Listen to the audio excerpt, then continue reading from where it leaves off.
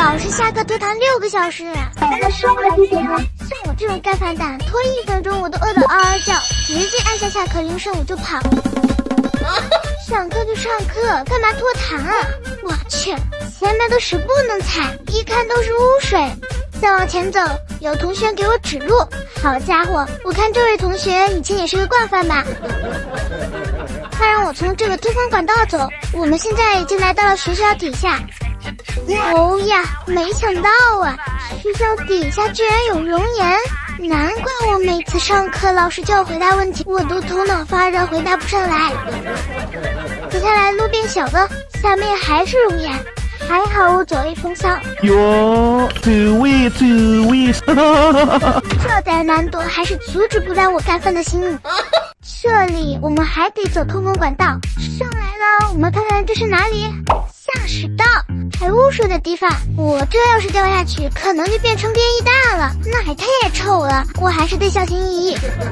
我的天，这污水可真多啊！找到它的规律，慢慢过去。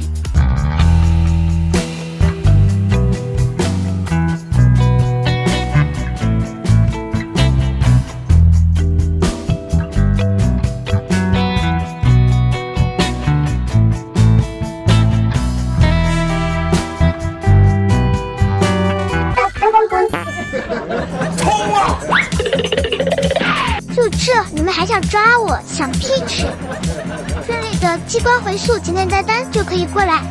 一共四个教室，我要选一个正确的才可以进去。你好，你好，你好，一三四都是老师，走二号门又贼闯关，这逃学真不容易啊！你们都不知道，这年头学生的学习压力特别大，马叔啊，你都快学成秃子了。